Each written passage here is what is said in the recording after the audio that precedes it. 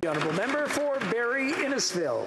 Mr. Speaker, there can be little doubt that there was political interference from the Prime Minister's office and the Public Safety Office Minister's office because of the handwritten notes by Darren Campbell, a superintendent panel in Nova, uh, superintendent in the RCMP in Nova Scotia. In his notes, he wrote, the commissioner said she had promised the Minister of Public Safety and the Prime Minister's office that the RCMP would release this information release information in an active investigation that could have jeopardized the investigation. Who in the Prime Minister's office, who in the Public Safety Minister's office authorized Commissioner Lucki to speak to the RCMP? The Honourable Minister for Emergency Preparedness. Thank you very much, Mr. Speaker. Well, first of all, the answer is no one.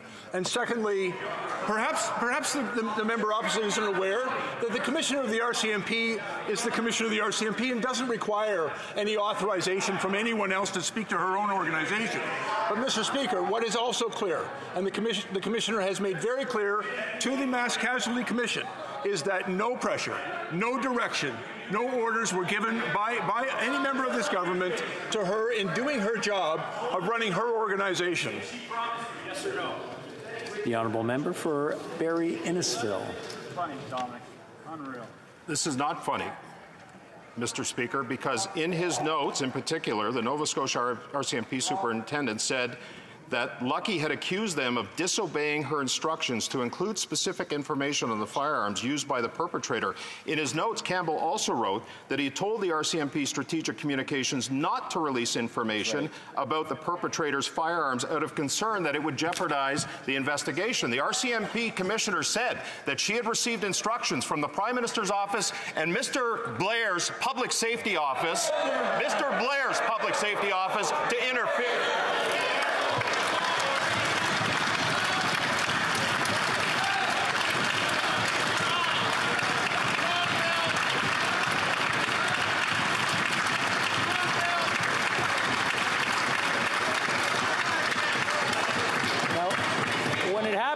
Once, we brought it up, it's nice, but when it gets brought up again, I understand that drama is good for TV, but it's not good for this chamber. The Honourable Minister. Uh, Mr. Speaker, it's very apparent that the, the, the leader of the opposite, the House from the opposition, is more interested in drama than in truth. Mr. Speaker, there is a fact here the Commissioner has confirmed that no direction and no pressure was given by me or by any member of this government to direct her in any way. Mr. Speaker, this is a line of which I am most familiar. And no direction uh, of an operational manner was given to the Commissioner of the RCMP by myself or any member of this government, and she's confirmed the truth of that. Member for Barrie Innisfil. I'm sorry, Mr. Speaker, but, but this is not drama. This is about a police commissioner actively. The Honourable Member for Barrie Innisfil. The question. Thank you, Mr. Speaker. And I, I, do apologize, but this is not drama. This is about a direction to a police commissioner of the RCMP to actively be involved in a case, an ongoing investigation in Nova Scotia, from the Prime Minister's office to the Public Safety Minister's office. That's the action. That's the accusation that has been made in this case, Mr. Speaker. So it is a serious matter that police are are, are actively investigating something, and they're being told by the Prime Minister's office and the Public Safety Minister's office that the commissioners to interfere. Who told them? The Honourable Minister.